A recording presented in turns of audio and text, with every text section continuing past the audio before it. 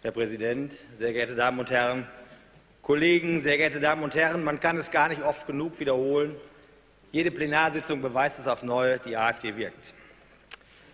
Etwas mehr als vier Monate nach der unbegründeten und sinnlosen Ablehnung unseres Entwurfs eines Gefährdergesetzes legt die Landesregierung nun einen nicht zielführenden Entwurf vor, der angesichts der offensichtlichen Nachahmung, aber auch bezüglich handwerklicher Schwächen zu diskutieren sein wird. So heißt es in dem neu einzufügenden § 8 Absatz 5 POLG, sofern die drohende Gefahr bestimmt und geeignet ist, die Bevölkerung auf erhebliche Weise einzuschüchtern, handelt es sich um eine terroristische Gefahr. Wie darf man sich das denn bitte schön vorstellen? Wann ist nach Ihrer Vorstellung die Bevölkerung derart eingeschüchtert, dass die Vorschrift greift? Wollen Sie den Menschen einen Fragebogen aushändigen, auf dem sie ankreuzen können, wie eingeschüchtert sie sich angesichts einer drohenden Gefahr fühlen so zum Beispiel A sehr eingeschüchtert, B ein bisschen eingeschüchtert oder C eher nicht eingeschüchtert. Wer weiß denn schon so genau, wann sich die Bevölkerung eingeschüchtert fühlt? Ist sie heute eher mutig oder ist sie, in ihrer, ist sie infolge ihrer Politik eher verzagt? Der Tatbestand ist zwar gut gemeint, allerdings realitätsfern und damit untauglich.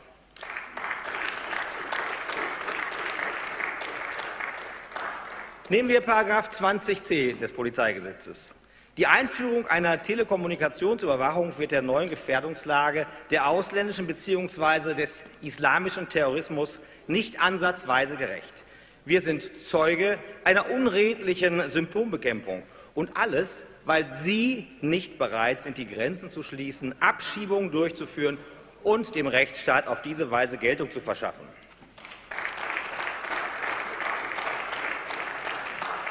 Zudem, meine Damen und Herren, die erste praktische Hürde Ihrer Telekommunikationsüberwachung stellt bereits die Sprache dar. Ist denn geplant, gleich nach der Einreise der Menschen dieser Welt nach Deutschland Übersetzer für jede Sprache dieser Welt zu generieren? Was passieren kann, wenn man den Bock zum Gärtner macht, haben wir Ende letzten Jahres aus der Berliner Polizeiakademie erfahren. Dort fühlen sich viele künftige Polizisten eben nicht dem Schutz der Bevölkerung, sondern ihrem kriminellen Familienclan verpflichtet. Ich mag mir nicht ausmalen, was geschieht, wenn als, als, ein als Flüchtling getarntes IS-Mitglied die Telefonate der Salafisten-Szene in Duisburg oder Essen observiert.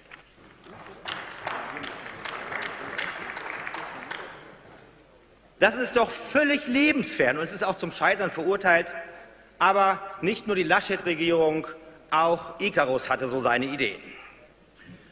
Nun zur Videoüberwachung. Schon wieder reine Symptombekämpfung. Neben Kriminalitätsverlagerung sowie dem massiven Eingriff in die Bürgerrechte haben Sie sich einmal gefragt, mit welchen Leuten Sie die Überwachung durchführen wollen. Die Landesregierung bekommt ja mangels Masse und schlechter Bedingungen nicht einmal genug Einstellungen für die Justiz auf die Kette. Wer entscheidet eigentlich darüber, welches Gebiet sicher sein wird? Sicher nicht die betroffene Bevölkerung. Weiter. Die sogenannte Einführung von Anhalt- und Sichtkontrollen ist nicht durchdacht und am Thema vorbei. Sie erschweren der Polizei vor Ort erheblich die Arbeit, da jede diesbezügliche polizeiliche Maßnahme nun unter dem Vorbehalt der Rechtfertigung durch die Polizei steht. Lassen Sie endlich Grenzkontrollen zu, dann sparen Sie sich das grenznahe und ersparen Sie uns damit Ihre potemkinschen Dörfer.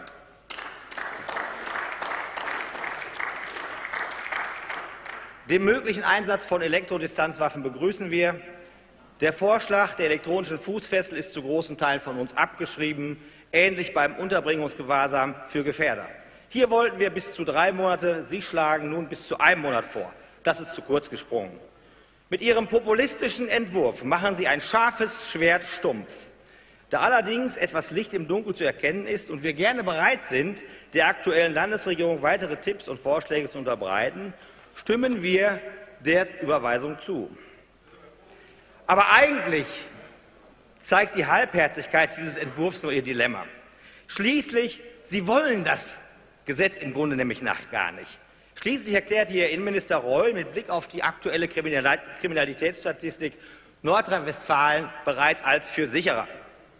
Doch anscheinend glauben Sie den Statistiken genauso wenig wie wir. Schönen Dank.